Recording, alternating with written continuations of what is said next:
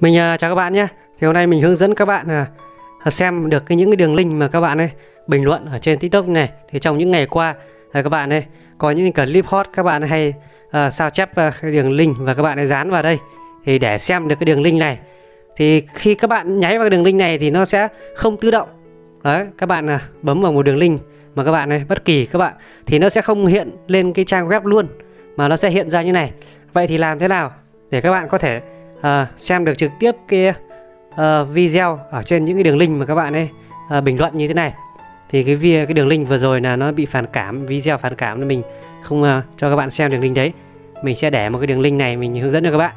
Đây uh, các bạn muốn xem một đường link nào thì các bạn sẽ giữ liệt ngón tay vào cái đường link đấy cho mình. Và khi các bạn giữ liệt ngón tay vào thì nó sẽ hiện ra cái phần như này thì các bạn sẽ bấm vào chữ sao chép. Đó các bạn sẽ bấm sao chép cho mình. Và sau khi đã sao chép rồi thì các bạn sẽ thoát ra. Các bạn vào Google máy các bạn. Thì máy Android và iPhone nó đều có cái phần Google, phần tìm kiếm. Và ở cái phần tìm kiếm này, thì các bạn sẽ giữ liệt ngón tay vào cái phần tìm kiếm, nó hiện ra chữ dán. Đó, giữ liệt ngón tay và hiện ra chữ dán, các bạn bấm vào. Thì nó sẽ dán cái đường link cho các bạn vào đây. Nhưng các bạn chưa chưa xem được luôn, bởi vì nó có cái có cái ờ, tên của cái người dùng khi các bạn sao chép. Đó, đây mình sao chép này có hiện tên của mình ở đây. Đấy các bạn phải xóa đi cho mình. Đó, có cái chữ A còng tên đấy các bạn xóa đi. Nó chỉ còn cái chữ là HTTP S gạch 2 chấm gạch chéo.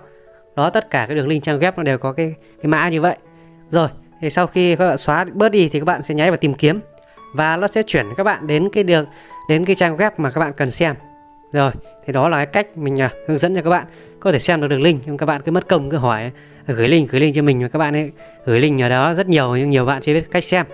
Rồi thì đối với bạn nào muốn làm cái cái nút cái tạo một cái ảnh như này chế cái ảnh này thì mình có đường link hướng dẫn cho các bạn ở bên dưới. Rồi chúc các bạn thành công nha đừng quên bấm đăng ký và bật chuông thông báo để theo dõi những video hướng dẫn mới nhất của mình. Mình xin chào các bạn và hẹn gặp lại các bạn.